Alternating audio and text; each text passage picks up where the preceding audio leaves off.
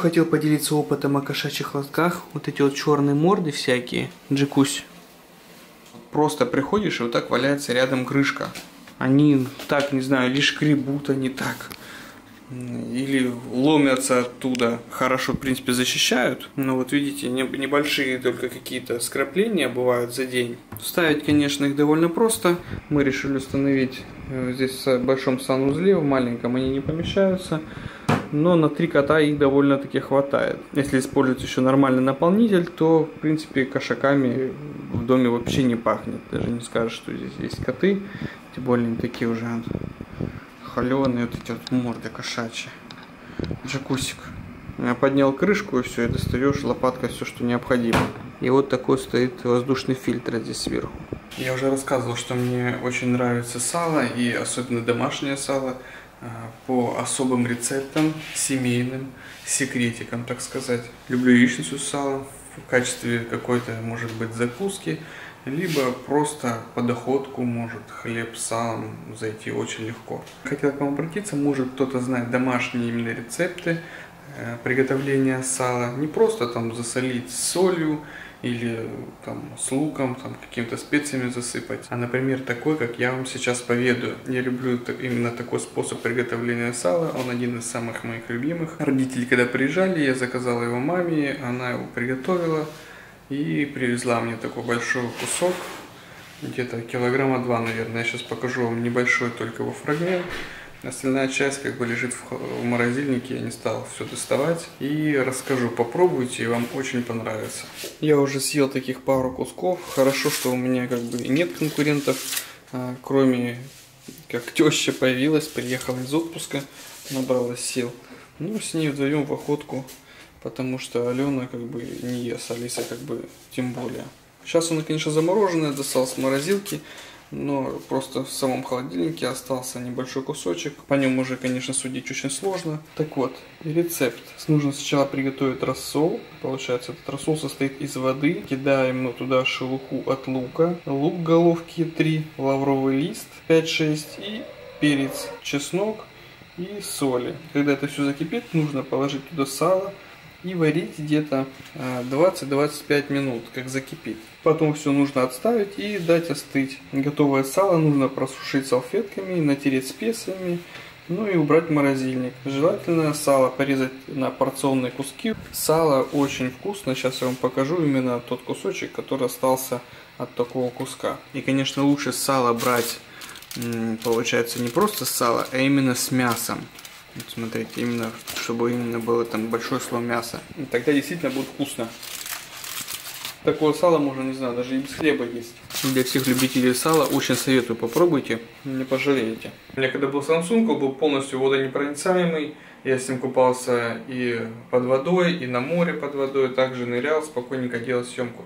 Но с айфоном мы знаем печальную историю с Аленой, когда она утопила свой седьмой iPhone и под, под экран попала просто вода, он выключился, и даже из него никакой информации нельзя было взять. Под водой, конечно, с ним нельзя купаться, но я делаю э, обычно промывку телефона после того, как Алиса там на него э, жирными руками бывает возьмет после еды, схватится там. Либо какие-то жирные отпечатки бывают на телефоне. Сейчас я продемонстрирую. Я спокойно достаю из чехла, тоже бывает чехол, тоже мою. Вот, и спокойно, вот, допустим, могу взять, намылить как следует от пыли и грязи, как говорится, и спокойно помыть. Кто из вас боится мыть телефоны? В принципе, ничего с ним не происходит. Я эту процедуру делаю не первый раз. Вот хотел у вас спросить, как вы относитесь к таким процедурам вообще стоит так делать, промывать телефоны, либо влажной тряпочкой как-то, но я думаю, с ними не должно ничего случиться. Так вот, друзья, хотел э, именно... Что ты вот так вот Вот так вот. Друзья. Друзья, сегодня мы поговорим... Мы записываем это видео, чтобы вы поделились своим опытом, кто ездил, допустим, в Турцию, нам предстоит скоро поездка туда. Я слышал много негативных отзывов о Турции и хотел бы, э, чтобы вы написали в комментариях, поделились опытом, может раз, э, как-то развеете наши сомнения Что ты думаешь тоже об этой поездке? На самом деле, ребят, я безумно счастлива, я безумно счастлива, безысходно, безысходно. Нет, э, мне, я очень-очень рада, что нам э, удастся вывести Алису на море, Вывести. если все сложится, потому что она все уши прожала, хочу на море, на море, самолет на море, она обожает купаться. И вот накаркала. А, Наконец-то. И просто мы подбивали бюджет поехать, а, ну, как бы, там, допустим, в Дубай, и получалась а, сумма, вот, если мы будем вдвоем, двое детей и моя мама, э, ну, в районе 300 тысяч. Это без расходов там. Ну, как бы это вот гостиница, где мы в прошлый раз были. То есть вообще такая негуманная сумма, а с учетом огромного нашего ипотечного кредита 10 раз думаешь, И это на куда- 10 дней получается, какую да? дыру заткнуть. Э, Я считала, по-моему, даже на неделю. Вот это 300 тысяч, это на неделю было бы. И Алиса все время говорила, мама, давай на море. Я говорила, если мы накопим эти денежки, да, вы, выцепим их из всего остального, обязательно поедем. А здесь такая возможность поехать в Турцию, причем никогда мы там не были. Единственное но, Сереж, ты можешь идти? Единственное но. Единственное но, ты ж не знаешь, о чем я хочу сказать. Ну, я догадываюсь. э, Нет. Много просто прожитых лет совместно. Я уже лавлю мысли, поэтому... Будут опять говорить, знаете, что Алена с таким кислым лицом. На самом деле, четко перед видео Сережа всегда косячит. Потом мы садимся снимать, и все мне пишут, какая ты злая жена. Блин, вы же не знаете, что за кадром остается. Я на самом И деле... не узнаете никогда. Я на самом деле из последних сил вот себя держу. И поэтому хоть на камеру как бы можно приобнять, и она как бы ну, ничего не Все сделает. скоро конец записи. А, Значит, в чем смысл? А, что, что не получилось у нас? У нас не получилось то, что мы могли взять с собой еще пару, Детей. пару детей, либо родственников. Но у тех людей, э, с которыми мы хотели поехать, у них, к сожалению, не получилось. У кого-то просрочен паспорт, вот-вот неделю назад буквально, а сообщили нам как бы меньше месяца времени остается на это, и успеть паспорт сделать просто невозможно. Хотели Ромочку взять, но тоже мало времени, и, ну, вот как-то, короче, не получается, причем, а, ну, смысл такой, что нас пригласили в пресс-тур, та-та-та-та, самое главное мы не сказали, вот, и это очень редко, когда приглашают семьей. Обычно пресс-тур это ты один, едешь как самый, ну как бы все измеряют все твои показатели, сколько ты можешь дать просмотров, сколько тебя человек читает, сколько комментариев. И исходя из этого предлагают, ну, в обмен на поездку, чтобы ты рассказала о каком-то продукте, услуге, ля-ля-ля. А когда едет вся семья, это же всем родственникам надо платить, а у родственников, ну, как бы, каналов нету, да, поэтому это огромная редкость. В общем, спасибо приглашающей стороне, что нас пригласили вместе с детьми, еще дали возможность взять там мою маму, но она, к сожалению, поехать не может. Младенца таскать по этим самолетам, по аэропорту, где много людей постоянно, вот эта массовка, микробы, я бы не хотел бы. Лучше бы я как бы остался с ним, э, допустим, поехала теща, ну, я бы не хотел. Вообще, я был очень сильно против. И как раз совпали звезды так, что э, Алена мама тоже не может поехать, и она останется. Мы оставляем с человеком надежным, проверенным, мы просто не беспокоимся. Сережа вообще ни в какую не хотел Рому брать и не хочет. И мама моя тоже вот так. Короче, я вообще абсолютно позитивно отношусь к путешествиям с детьми. Но когда, знаете, постоянно вокруг тебя, ой, инфекции, ой, поносы, малярия, Ну, это просто дизентерия. отдых, когда, э, ладно, взрослые дети, я считаю, еще можно как-то с ними организовать. Ну, А когда один постоянно, то у него орет животик, э, как бы, Животик. орет животик у него. Знаете, когда вокруг тебя постоянно какие-то тысяча сценариев апокалипсиса, я как бы сама тоже постоянно я везде, где я появляюсь, вот особенно с рождением детей эта фигня началась, то что у меня любой, любой угол, я в красках вижу, как об него можно разбиться. Любая высота, в красках вижу, как можно упасть, сломать все Фантазия очень богатая. это, это, знаете, как ужасно. Ну, у меня постоянно вот это фоново, и это меня очень сильно изматывает. Вот, и доходит до того, что я пока вот не, не, мне представляется какая-то ужасная ситуация, я пока мысленно из нее не выберусь, она меня не оставляет, представляете?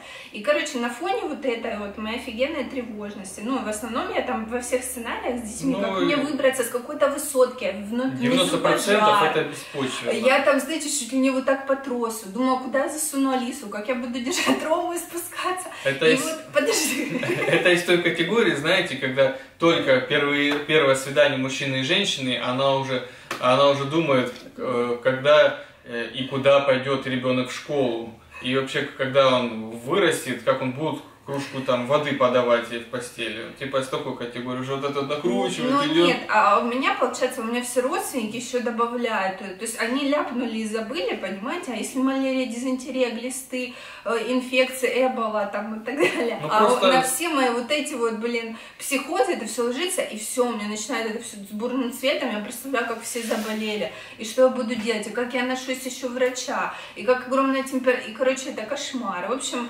Сережа категорически против, говорит, едем без Ромы или не едем вообще. В итоге мы едем втроем, а моя мама останется с Ромой. Риск просто не оправдан. Думаю, вы со мной согласитесь, что детей до полугода хотя бы а, не стоит брать такие поездки, тем более там, где большое скопление людей. Вообще Понимаешь, самое лучшее, это когда ребенку, вот, когда мы поехали с Алисой пе- первый раз. Самое вот лучшее, мне кажется, сейчас вот уже Алиса осознанная, ей уже скоро три. Ей же около трех лет, та-та-та, практически. Она безумно интересная, она уже рассуждает. И вот я поняла, что ты больше всего знаешь своего ребенка, когда он начинает говорить именно ход мыслей, нюансы. Это вообще кайфово. Я думаю, будет очень интересно, хотя она у нас дико избалованная, капризная. И я уже чувствую, что надо как-то браться за больше, ну, выстраивание Да, вот этих рамок и огр- ограничений, потому что она у нас конкретно, знаете, присела на голову. И чуть что, все, шантаж, истерики, скандалы, вот так, слезы, обиды, выгоняет Но- все, короче. Но в садике она себя так не ведет, Да, она кстати. Я дома. когда пытался с садика ее забрать, и она села на велосипед, я говорю, ну все, Лиз, пойдем. Нет, не хочу. Начинала вот это вот э, нытье свое включать. И воспитатели так на нее посмотрели. Алис, ты что, так можешь? Мне кажется, она прирожденная актриса. Да, Алиса у нас актриса, это точно. А, я не знаю, ее никто этому не учит, но она постоянно какие-то сценки разыгрывает, а, как, какую-то роль играет, там идет такая демонстрация. Причем это у нее ну, чуть ли не с рождения, что она вот и смотрит на реакцию, там то обида у нее, то радость. Даже когда я ее фоткаю, знаете, у нее есть, а, как в рекламе, что она может делать вот так, короче, она меняет сто просто выражение лица, выключается камера, такая, фу, типа, все как надоело.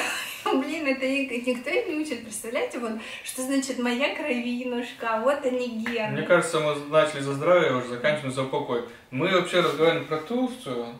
Так что, ребят, вы посоветуйте, напишите, кто туда как минимум там, ну, раз, два ездили, какое впечатление С у вас сложилось. именно, да. Ну. Еще вопрос в том, что мы будем жить в апартаментах. То есть это не гостиница, где все включено, там 400 аниматоров.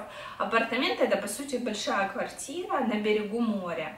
А, То есть мы там будем готовить сами или где-то кушать, в общем, самим Ну, уже посмотрим организовывать по отдых и все да. остальное. Ну, главное, чтобы не сильно далеко от моря как бы было. Нет, на берегу.